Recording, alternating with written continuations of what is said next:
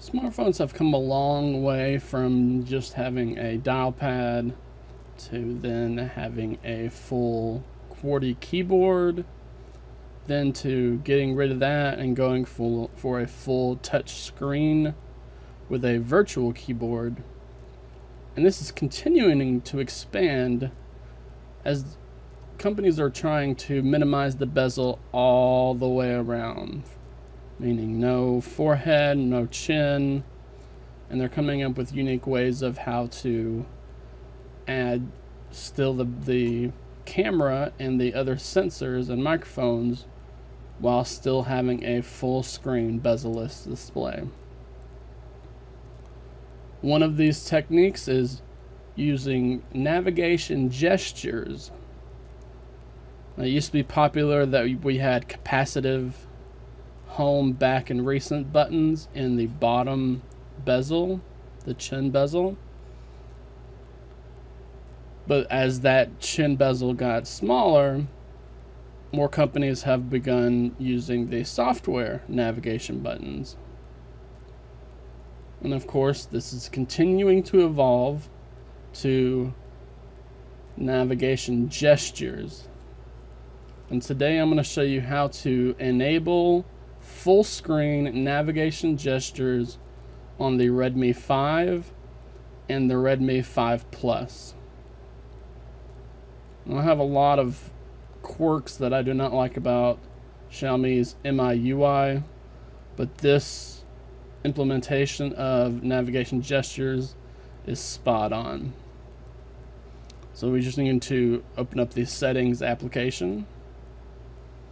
We're going to scroll down a bit till we get to the system and device section. Then you're going to see an option here called full screen display. Now right here is how we control our system navigation. And you can see we have two options here. We can have buttons, which is how it will be uh, set by default. And that has our back, home, and recents button over there. Or we have the full screen navigation gestures. So all we have to do is tap the full screen navigation gestures option. This, it, the first time you do this is going to ask if you want to learn the gestures. So I'll go through this with you and we'll go learn.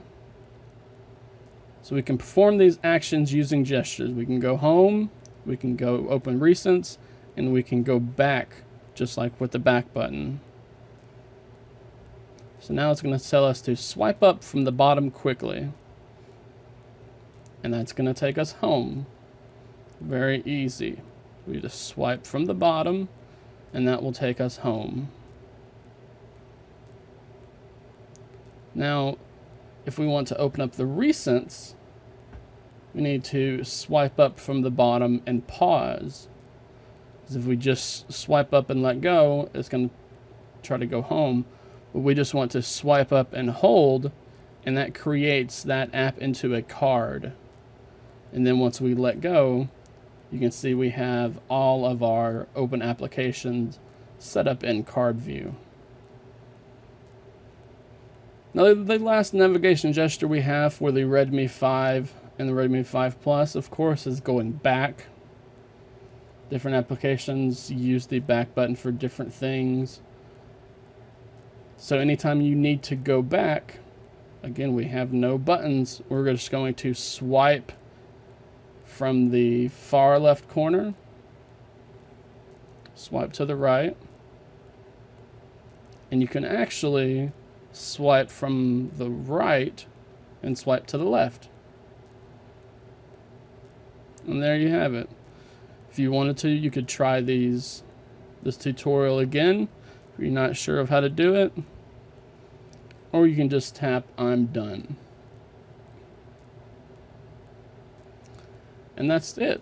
I've used these navigation gestures on these MIUI devices and I love it.